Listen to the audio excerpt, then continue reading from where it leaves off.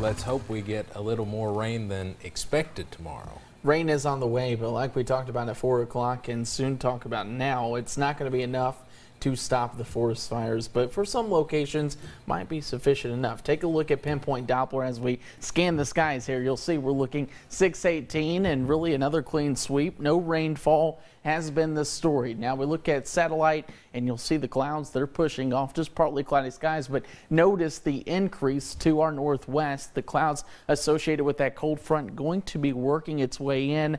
And how about a new record for November all-time high?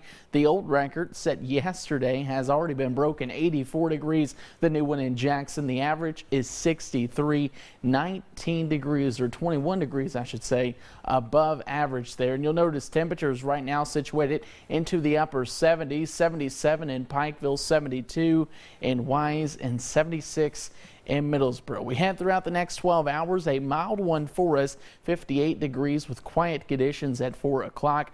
Few showers for us at 20% for 7 for your morning commute. But then you'll notice as we head into the afternoon, we increase these showers and we really look at your best rain chances on Thursday. We'll clear out with some cloudy uh, conditions, partly cloudy on your Friday. And then this weekend, sunny, dry, and much more seasonable for eastern Kentucky. Notice high pressure working its way off to the southeast. Cold front advances. Here comes the rain we're talking about, and pretty much it's going to be the afternoon, evening type rain. Pushes us out Look at the cloud cover to stick around with partly cloudy skies on your Friday. And you'll notice as far as rainfall totals go, here's what we're looking at. Anywhere I would say from a tenth to three tenths of an inch. A little bit more widespread than what this model is showing, but this is just to put into perspective. It's not going to be enough when it comes to those forest fires.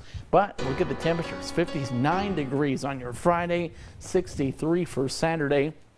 And then we fall back with your clocks 67 on Sunday. But notice Friday night, Saturday night, temperatures continue to drop. And Steve, it could be another chance for some patchy frost here in the mountains. So keep that in mind with your plants out there. All right. Thank you, Andrew. Straight ahead.